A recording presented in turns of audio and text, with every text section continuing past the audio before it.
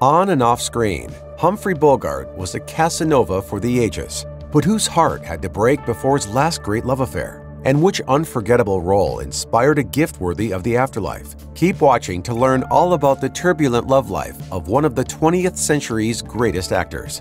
Humphrey Bogart's work could give future historians a crash course in 20th century masculinity. Over the course of more than 50 movies filmed throughout a career that stretched across three decades, Bogart gave life to dozens of roles. From the 1920s to the mid 1950s, he would portray hard boiled detectives, military officers, wayward drifters, and many other iconic characters. What sets Bogart apart from John Wayne and many of his other contemporaries, who are typically revered as all action tough guys, is that much of Bogart's filmography shows him portraying damaged men grappling with conflicts of the heart. The most notable example of this trend is the 1942 classic Casablanca. This celebrated romance film contains some of the most memorable scenes in all of cinema, as well as some of its best known lines, including He's looking at you, kid. And Of all the gin joints in all the towns in all the world, Casablanca's success has ensured that on screen romance will forever be influenced by Bogart's grizzled tones.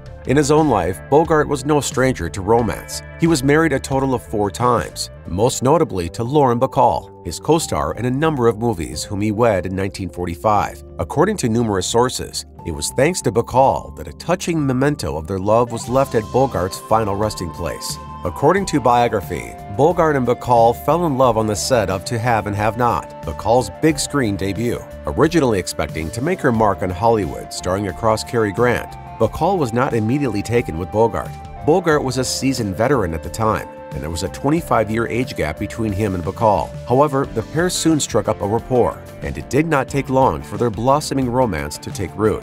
Biography claims that the two first kissed in Bacall's dressing room, and that Bacall first gave Bogart her phone number by writing it on the back of a matchbook.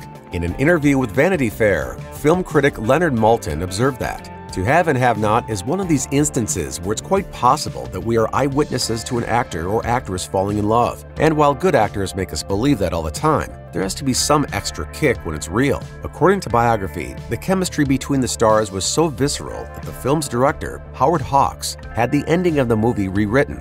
Originally, Bogart's character was meant to pursue another love interest. In the rewrite, he eventually finds love with Bacall's. In the final scene, Bacall utters the movie's most famous line You know how to whistle, don't you, Steve? You just put your lips together and blow. In their Humphrey Bogart biography, A.M. Sperber and Eric Lax report that when the pair finally got together, the veteran actor presented Bacall with a gift a bracelet with a golden whistle in reference to the iconic scene. According to biography, the whirlwind romance that had blossomed on the set of To Have and Have Not was hard won. Bogart was still married to his third wife, Mayo Methot, while he was falling in love with Bacall. The hard drinking married couple was nicknamed the Battling Bogarts for their constant arguments and physical fights. The year before Bogart met Bacall, Methot had even stabbed him in a fit of rage. After To Have and Have Not wrapped, Bogart and Bacall began meeting in secret. Little happened between the pair until they shared the screen once again in The Big Sleep, another Howard Hawks film. Biography claims that Bogart was initially hesitant to leave Methot, which in turn hurt Bacall.